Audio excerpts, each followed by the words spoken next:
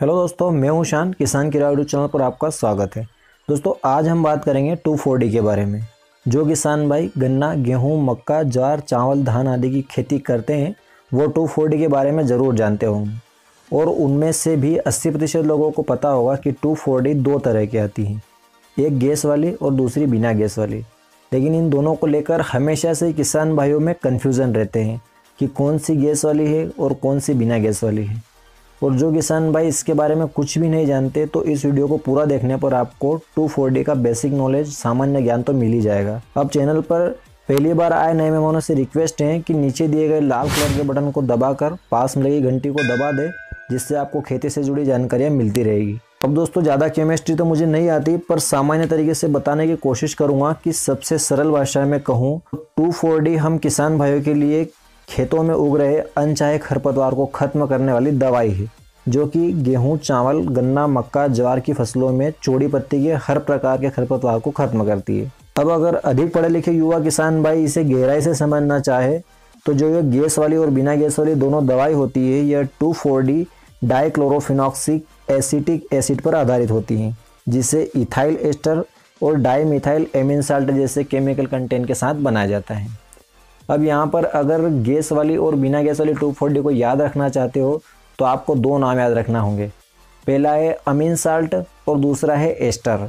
अब यहाँ पर अमीन साल्ट बिना गैस वाली टू फोर डी है और एस्टर गैस वाली टू फोर डी अगर ये नाम याद रख नहीं पाओ तो इसकी प्रतिशत मात्रा से भी आप याद रख सकते हैं कि कौन सी गैस वाली है और कौन सी बिना गैस वाली है।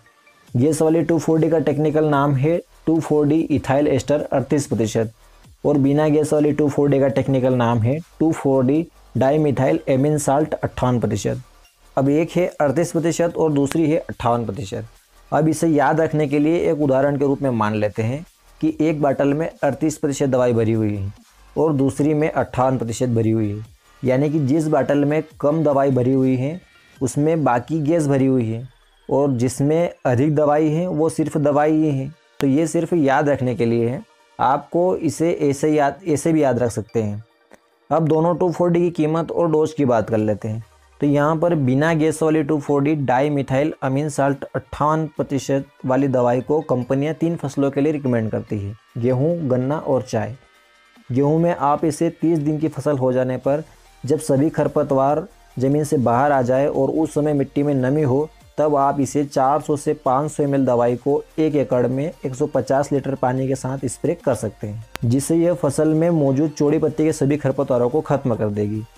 और अट्ठावन प्रतिशत टू फोर्टी का एक लीटर का पैक तीन सौ पचास रुपये के लगभग मिल जाता है।